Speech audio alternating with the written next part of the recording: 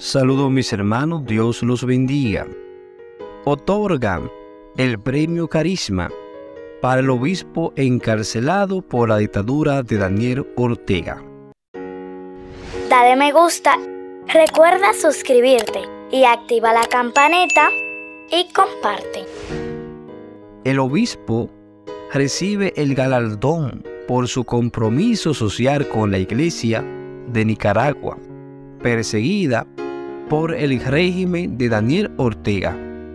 El obispo nicaragüense Rolando Álvarez recibe este año el premio Carisma de la Conferencia Religiosa Española. El obispo recibe el galardón por su compromiso social con la Iglesia de Nicaragua, perseguida por Daniel Ortega, en la categoría Misión y Cooperación según un comunicado.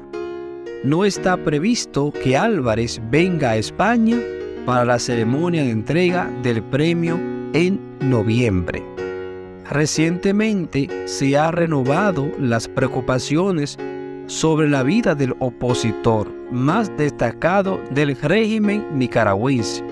La Comisión Interamericana de Derechos Humanos ha pedido al gobierno de Managua que garantice que se respeta el derecho a la vida, la integridad personal y la salud del obispo y que se cumplen las normas internacionales sobre condiciones cancelarias.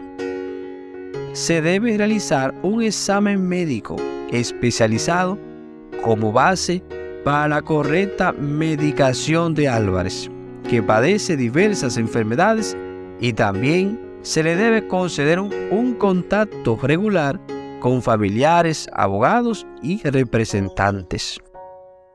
Los invito a compartir esta noticia y mantengamos la oración por Monseñor Álvarez y por todos los sacerdotes que están bajo el peso de la opresión del dictador Ortega. Dios los bendiga.